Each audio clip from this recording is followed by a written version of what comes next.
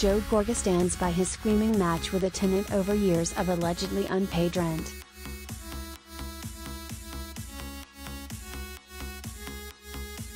It's just an excuse to just beat the system. That's why I'm upset, the Real Housewives of New Jersey husband, 42, said in a nearly 3 minute video obtained by TMZ Wednesday.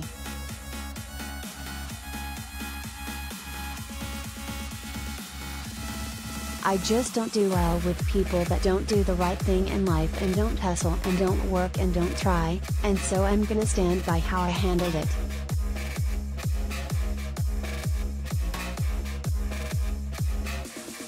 Gorga added that he wanted his tenant to feel exactly the way he made me feel, admitting he couldn't hold his anger in.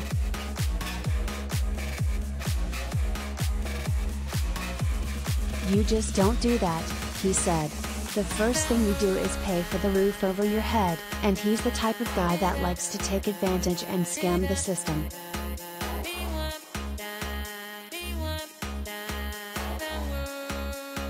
The dad of three claimed that his terrible, terrible tenant owes him $89,000 in unpaid rent after the man allegedly stopped paying three months into his lease.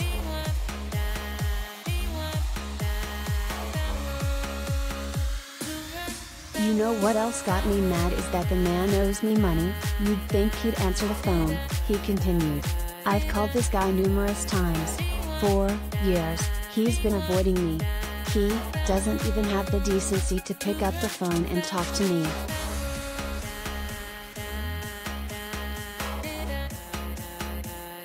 Gorga made headlines Monday after TMZ published a video of him screaming at a tenant who allegedly had not paid rent in four fucking years.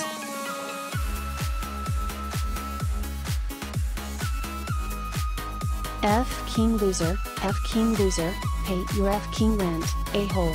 Call me F King Daddy, mother effer, because I've been supporting you for four and a half years, he shouted.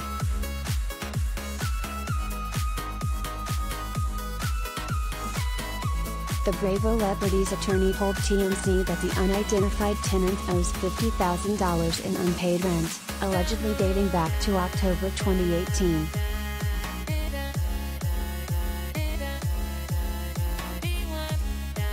Meanwhile, the tenant claimed he only owed Gorga rent from January until now.